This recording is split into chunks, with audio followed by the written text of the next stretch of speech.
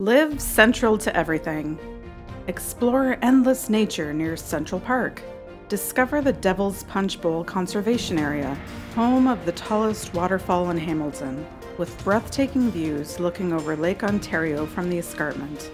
Beautiful Felkers Falls Conservation is a short walk or bike ride away, where Felkers Falls tumbles down and numerous winding trails wait to be discovered.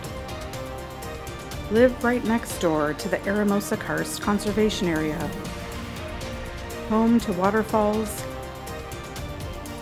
and the Nexus Cave, which spans 335 meters long, the 10th longest cave in Ontario. Nearby Albion Falls flows down the Niagara Escarpment in beautiful cascades, making it the perfect spot to explore nature.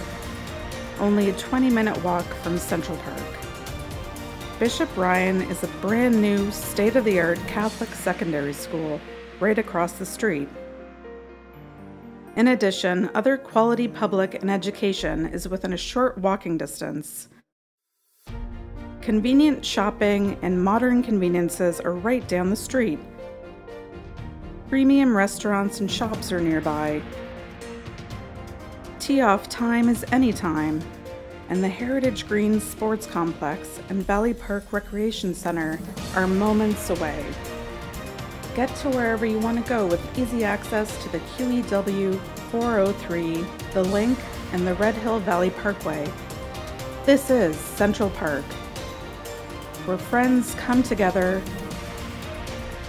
life is enriched, and roots grow deeper naturally.